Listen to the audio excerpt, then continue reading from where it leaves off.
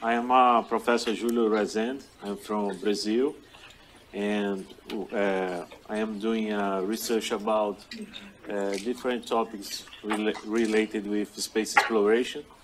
Uh, then uh, uh, I'm doing a partnership with Nikolai uh, He's an engineer from the company Final Frontier Design, and we also have the student David Souza, part of this research too.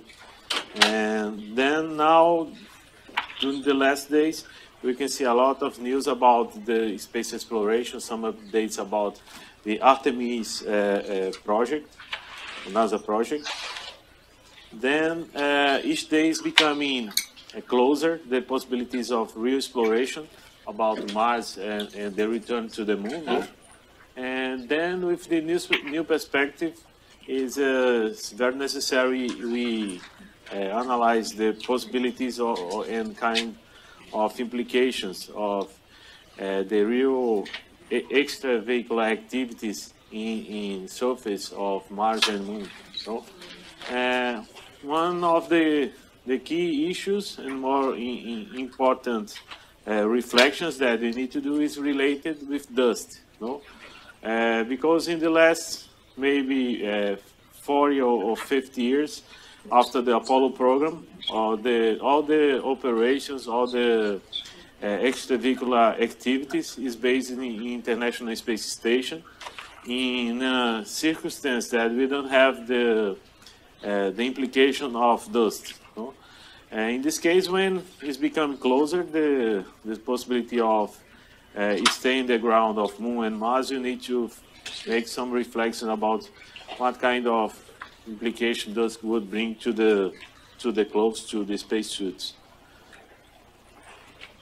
Uh, during this week in, in NASA, uh, the administrator Jim Bridenstine, uh, he did a, a, presentation. This presentation was uh, communicated uh, by by social media and Facebook. Uh, we have some images here from the this event. I believe it was Wednesday uh, or Tuesday that happened this, during this week. And then the Jim Bridenstine presents some updates about the spacesuit. Here we have some, some prints about the, uh, this great event organized by NASA. Uh, presented the spacesuit that will be used in in Artemis program, the the new new steps uh, to NASA space program to moon exploration. Then something important to see in this image, uh, one of the great challenge is about the junction, uh, the connection between each piece of the cloth, each piece of spacesuit, because in, in, the case of those, you can see, you can imagine different problems related with those, the impregnancy in the cloth, in the garment, and also in the joints, you know, uh, in the in the connections, and you can see different kinds of problems that we have uh, when you have the dust with combined with lubricants. You know? And what kind of da damage this will bring to the to the spacesuits. And then uh, other important element is the connection between the glove and the, the rest of the spacesuit. Then uh, we, we have uh, it's been done different uh, research about the spacesuits. You know? uh, one of the research done is by the company Final Frontier Design. The Final Frontier Design, they are based in, in Brooklyn, New York. And then there's a private startup company based in Brooklyn, and, and also they are they have contracts with NASA and, and I believe with Canadian agency, agency, Canadian agency. And then we, in picture we have Nick uh, about the spacesuit that company developed. His, this picture is in the office in the Brooklyn. Here we have all the picture. Oh, he's a Ted, Ted and Nick. And Nick was a is a, a former uh, former engineer of the Mir program, the the Russian space agency. And then uh, we have here uh, other photo of the spacesuit developed by them. And then during this week, uh, they did some tests about this spacesuit in Ottawa. Here we have some photos of, of the videos that they shared in, in microgravity, testing the spacesuit. And then here we have uh, other example. Uh, in this case, is the is uh, the proposed the the Orion and Artemis EVA spacesuit developed by Harris Aerospace. And then he says uh, the Gary Harris is, is, is, in this photo. You can see that he's presenting the the proposed spacesuit. you can you can see a lot of connections of the spacesuit here.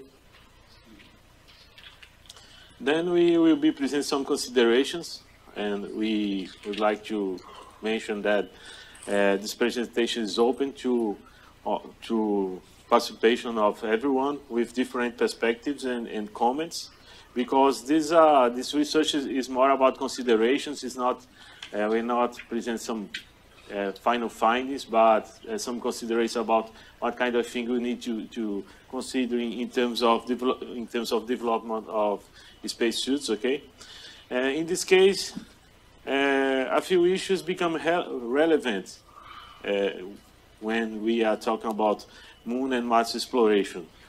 Uh, what kind of protections for EVA's activities we need to consider you know, to the EVAs in Mars and Moon?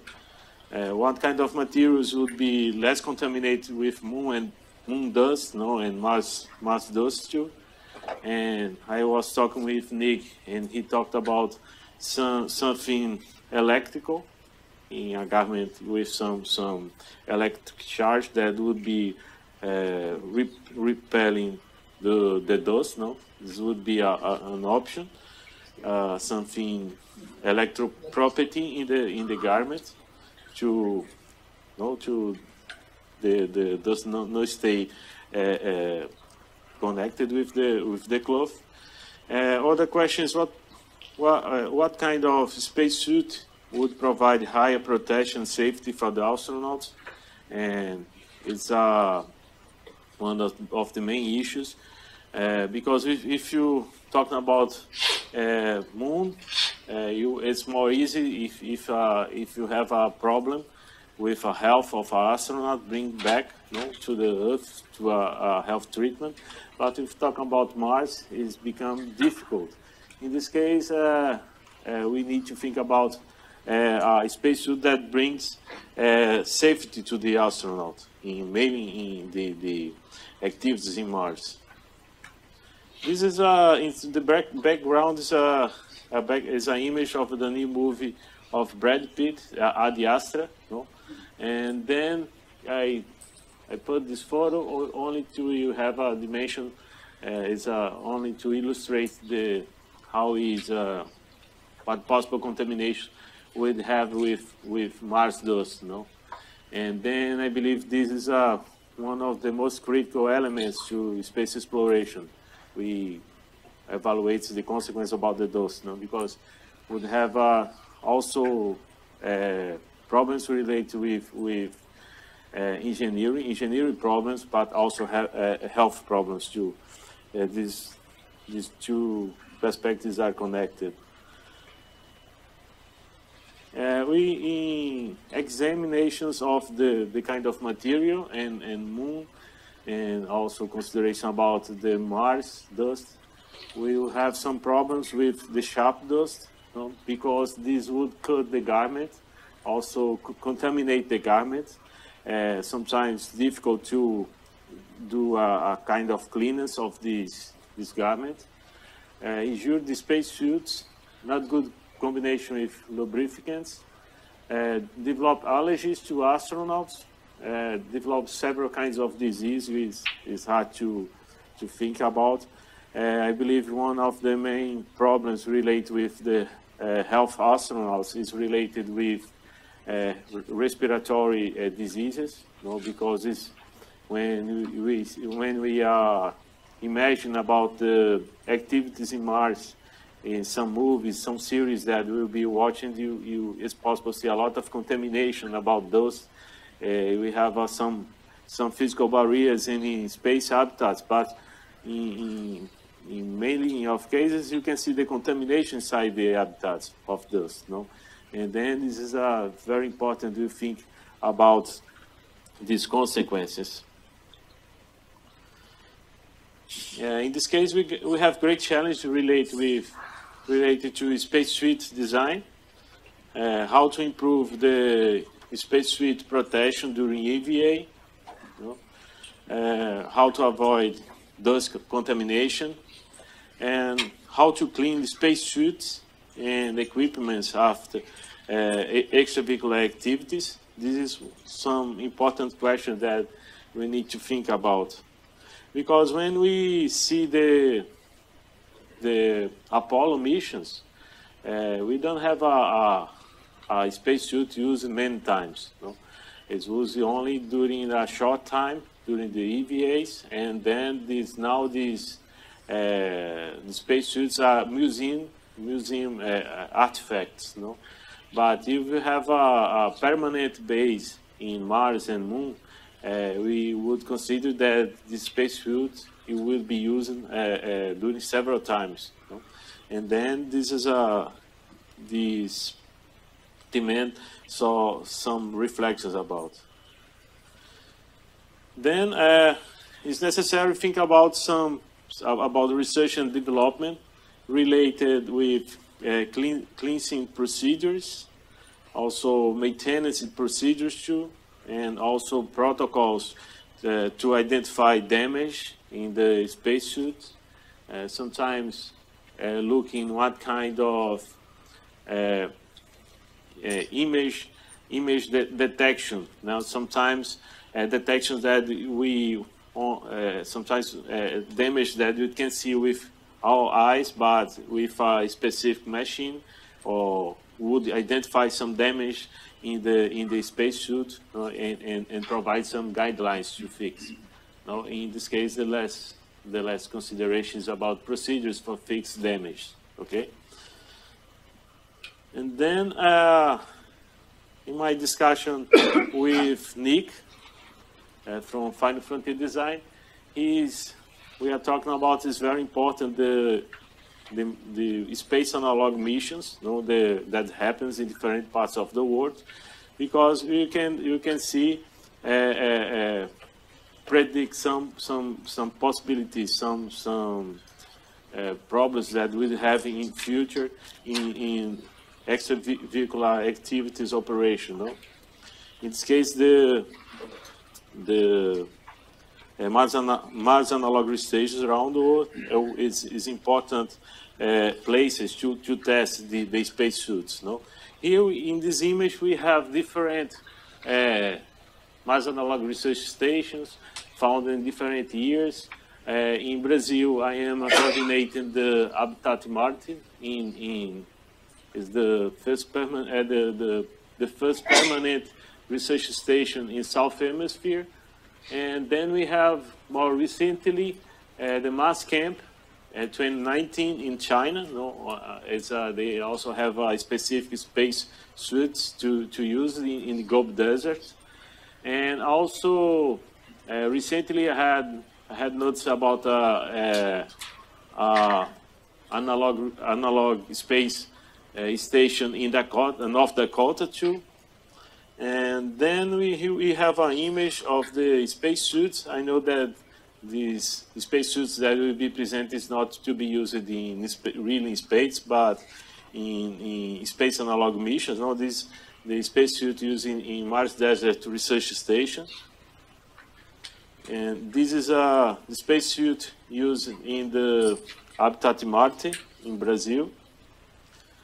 And then this uh, the spacesuit used by uh, by the project of University of North, da North Dakota. They have a department there, uh, John uh, John Odegard School of Aerospace Science, and his uh, spacesuit uh, really fantastic, the, the proposal of them. Uh, these images is recently uh, one of the analog space astronauts is David. He's in the event today. This is in, in some, uh, I talked today with him during the Mars Society convention. And then uh, this is interesting uh, to think about and uh, uh, reflect about the challenges of these spacesuits. And then in, uh, we have this image to the professors of North Dakota University with Jim Bridenstine. They are presenting the spacesuit developed by them.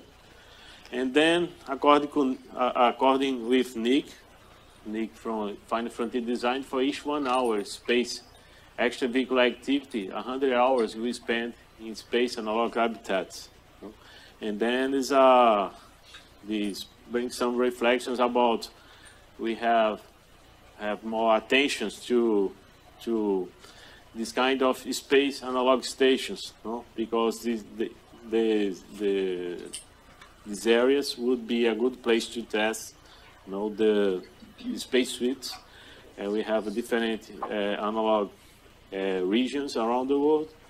Here, close to Los Angeles, we have Death Valley. You know, it's a beautiful place. That would be a, a place to, to make some tests of, of this kind of spacesuits. Then, uh, this is uh, some of my considerations about the spacesuits. And I hope that if you have some suggestions or some point that we're not considering this presentation, and then this is my email in my Twitter. Okay, thanks so much for the attention.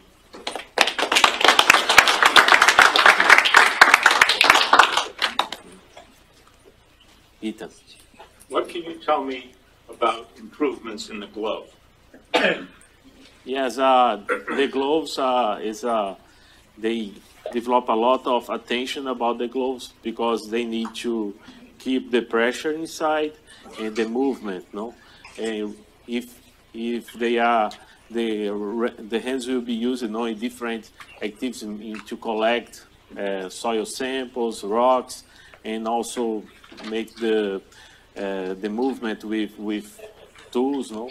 And then is a, is a we can we can it's possible imagine that a lot of those will contaminate the glove, no? It's a, a lot of attention you need to know we need to have with the the gloves. Yes, and what kind of procedure would be used to clean the gloves too? Yeah. Uh, two-phase question. One is, are you uh, at all working with uh, Dava Newman on the uh, more flexible, form-fitting, uh, less connections mm-hmm. necessary uh, for agility, and uh, also, it, do you know how the fabric is coming along for radiation resistance? Yes, I I saw today or yesterday uh, a new spacesuit developed by Under Armour. Uh, I believe that was developed by two uh, uh, Galactic, I believe. They, they, and then I believe if you have less connections, then this would be a, a good thing you know, to, to, because in these connections, uh, probably we have more deposits of, of dust, no? And then if you have less connections, if uh, like uh, the proposal of SpaceX uh, spacesuits, now we now we, we have a, a generation of new kind of spacesuits proposed by Vision and also SpaceX, no? more, more fit, more lighter. And then what I would see, we have a competition be, between these two concepts of spacesuits. The, the larger uh, spacesuits that we are uh, familiar, familiar to see, and the new spacesuits that looks like a, a, a common, like a, a diver, you know, like a diver suit. Yes. You know? And then uh, there's a lot of uh, speculation, some some uh, uh warnings about this, the new spacesuits, the, the, the new generation spacesuits. And then uh, we also some some debate uh, about the transportation of the first astronauts by SpaceX capsule.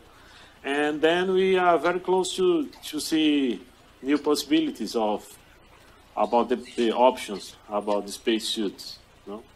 But I believe one of also the two considerations are interesting, and but we need to think also about new materials, no? new materials that will be considered to avoid this deposit of dust. Because if you, if you have less deposit of dust in the garment, this would good for for us to, for to, to the astronauts. Yes. Yeah. Okay, Thank you. Okay. oh, My question. eh, Would you do my photo, please? Okay. Thank you. Okay. My question is about the mass of the spacesuit that will be usable on Mars. I understand the spacesuits we used on the moon 50 years ago have much too high a mass for Martian gravity for people to actually be able to work in them and walk around with them. Uh, do you know what mass the Artemis proposed spacesuit has, if that space spacesuit could be used on Mars, or you know, what would be an acceptable mass so that under 38% Martian gravity people could actually work in a spacesuit? What do we have to get the mass down to from what it was in the Apollo era? Yes, I, I don't have the, the answer about, but it's a good consideration in a, in a, to think about. Uh, one thing, one one of the uh, aspects of my discussion with Nick is about if you have a very rigid, very rigid spacesuit, if the astronaut falls, uh, if they have the if the spacesuit will provide some safety to he he, he bring back. Because if you have a, a, a less uh, uh, gravity in, in in Mars, uh, the the falls will be more frequent and then this would be a we have a higher risk to the astronauts. And you have uh, in this this is this uh, in this case will be considered safer to astronauts in uh, about some some possible falls. Uh, Moon is safer than Mars. Mars sometimes some some falls uh, would damage the the spacesuit. Sometimes would also have something depends on the kind of fall. This will also bring some some health problem to the astronaut too.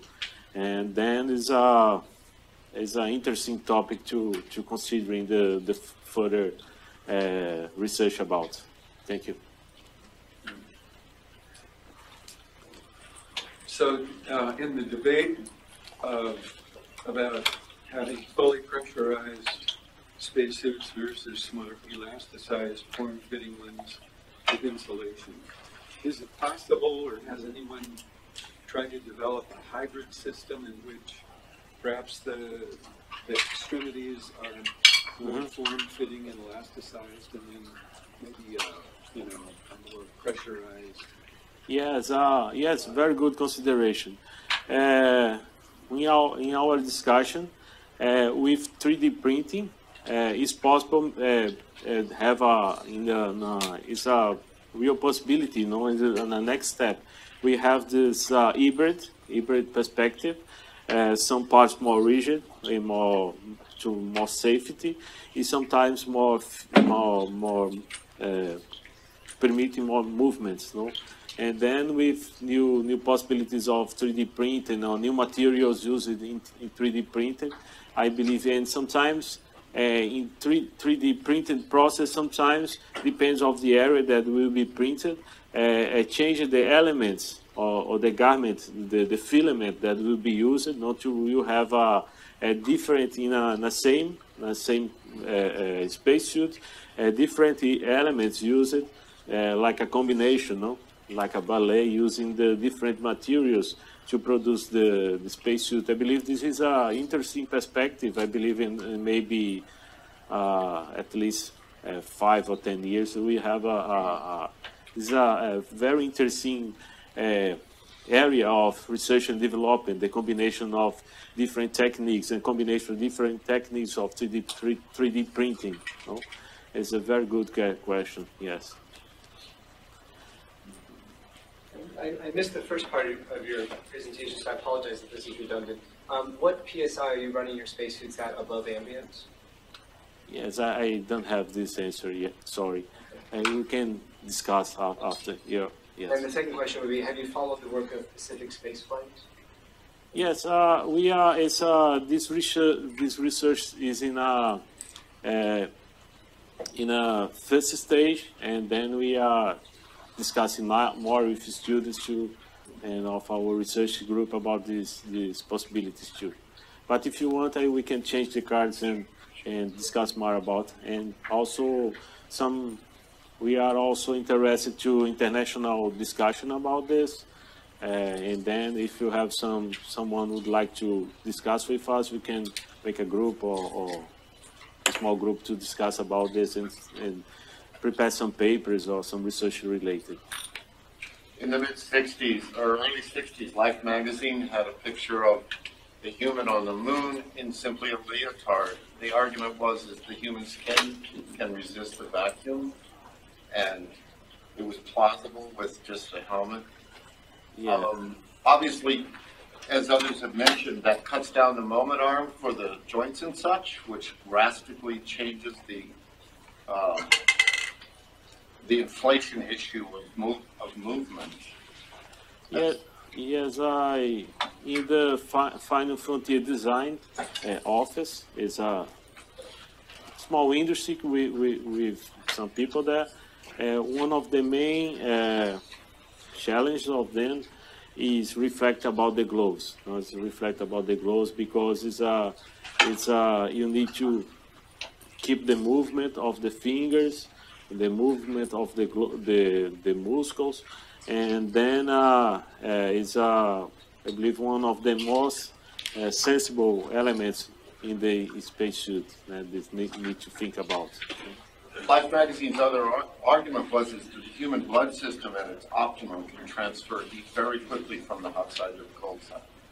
Yeah, yeah. So I believe would be interesting to to consider this, no, uh, this possibility. No, yes. I if you have uh, if you have uh, the article that would mention to me or would find it. pos- po- possible to find, it would, would be very grateful about.